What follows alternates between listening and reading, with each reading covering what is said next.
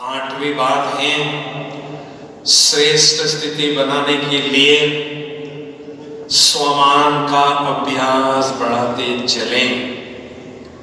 क्योंकि जब हम स्वमान के सिंहासन पर बैठते हैं, आत्मा स्वमान के सिंहासन पर बैठती है तो एक रूहानी नशा एक अलौकिक मस्ती हमें चढ़ने लगती हैं और उमंग और उत्साह के पंख हमें मिलते हैं, जिसके आधार से हम ऊँची उड़ान उड़कर इस साकारी दुनिया से पार हो जाते हैं। निराकारी दुनिया की ओर बाबा के पास सहज ही पहुँचने लगते हैं। तो आत्मा का अभ्यास हमें इस देह से न्यारा करता है और सोमान का अभ्यास इस देह से परे ले जाता है, ऊँचा ले जाता है। जो बाबा की याद करने के लिए मददगार बनता है।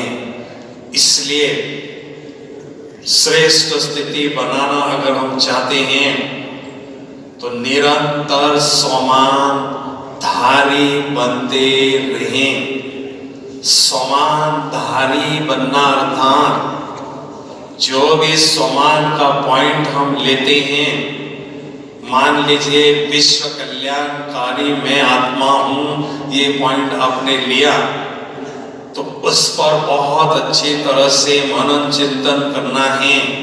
स्वराज अधिकारी आत्मा की स्थिति बढ़ती जाती है। तो मैं आत्मा विश्व कल्याणकारी हूँ। मेरे कर्म कैसे हो, बोल कैसे हो, संकल्प कैसे हो, व्यवहार कैसा हो, इस पर अच्छी तरह से मंथन करें और उन विशेषताओं को अपने जीवन में धारण करें।